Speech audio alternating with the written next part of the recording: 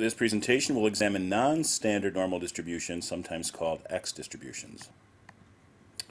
Here's an example. A population is normally distributed with a mean of 50 and a standard deviation of 5. If one number is selected at random from this population, what is the probability that number is less than 43? So what do we know? The mean is 50.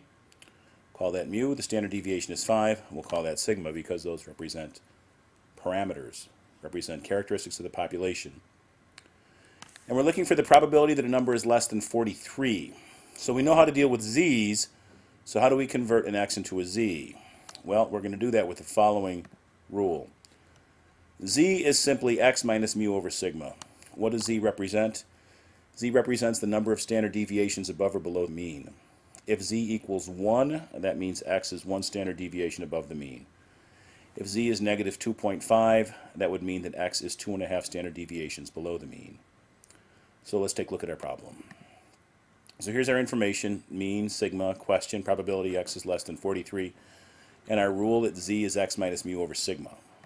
So here we go, probability x is less than 43. I want to convert x into a z. So I'm going to subtract mu and divide sigma.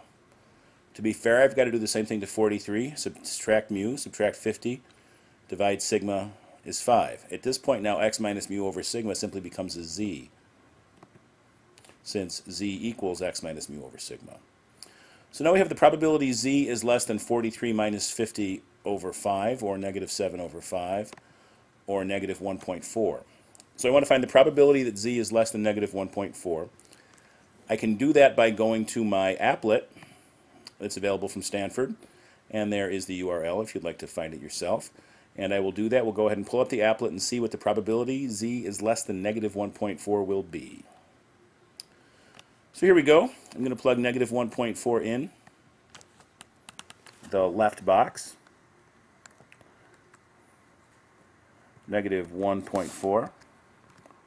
And we're going to ask how much is to the left of negative 1.4. And you'll see our picture. This is approximately where negative 1.4 is. And the number that we get there is 0.0808. So the probability z is less than negative 1.4 is 0.0808. We can also determine that on Minitab.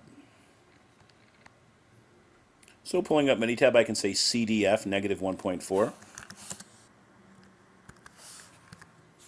And what do we, and semicolon, we want a standard normal, so we're going to say normal with a mean of 0 and a standard deviation of 1. And what comes back?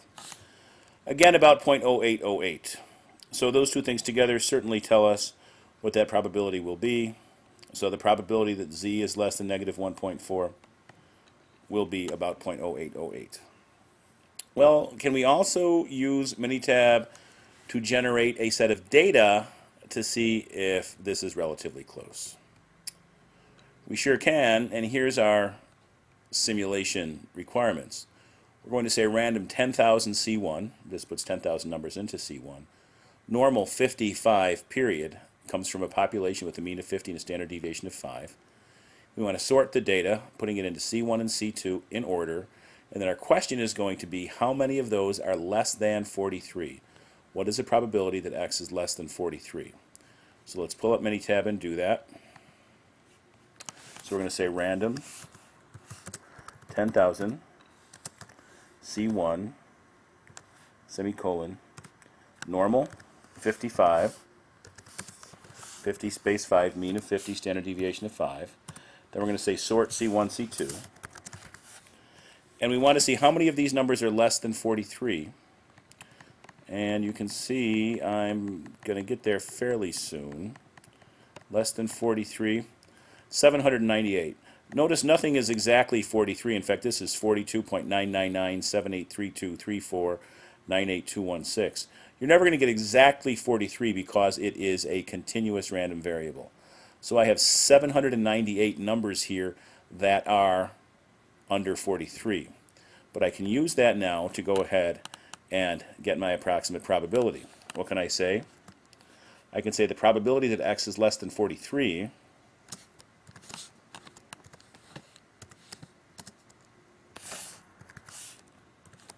is approximately how much? is approximately, we had 798 out of 10,000, 798 out of 10,000 which of course equals 0.0798. Very close to 0.08, very close to what we would expect to get based on our theoretical probability. Okay, in our next question, we have a population of women, and they have a mean of 64 inches and a standard deviation of 3 inches. So that gives us the information that we need to start with, namely that mu is 64 and sigma is 3. And now we're going to ask a question.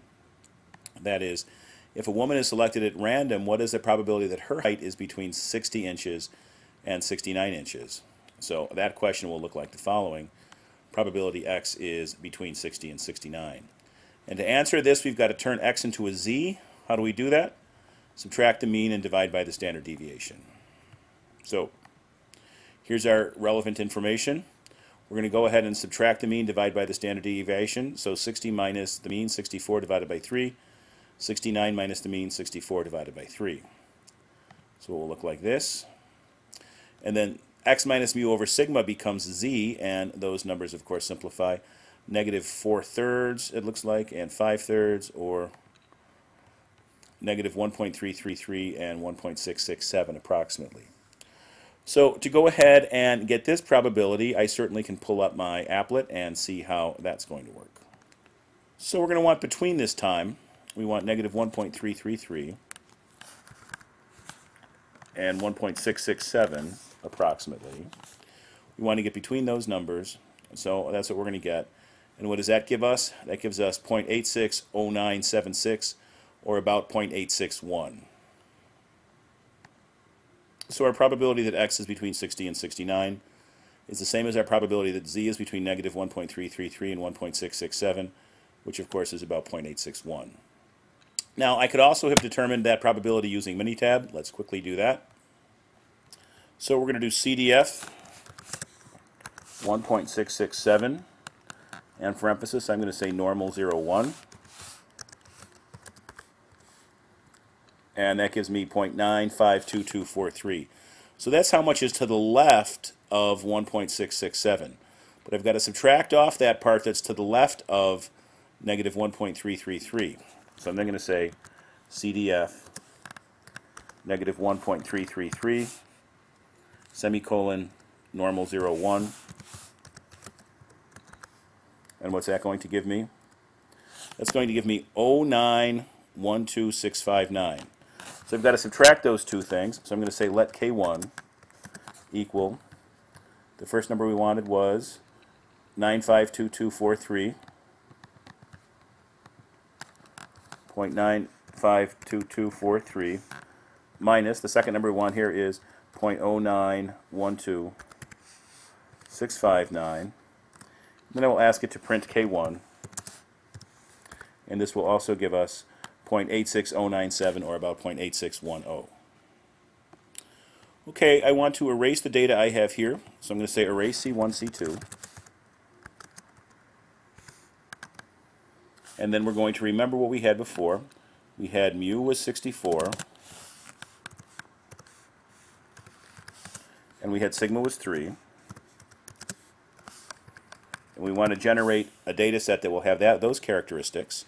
So I'm going to say random, let's do 1,000 this time, C1, semicolon, normal 64.3, normal 64.3, mean of 64, standard deviation of 3. Then I'm going to say sort C1, C2,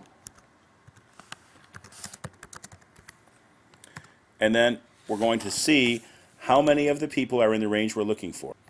So I want the probability that we're more than 60, but less than 69. What will that be? I scrolled up and I found the first one more than 60. And I'm going to scroll down until I find the last one that's less than 69, which may take a few seconds. 65, 66, 67, 68 and 69 is 862. So 862 out of 1,000 is about 0.862, and that's my result.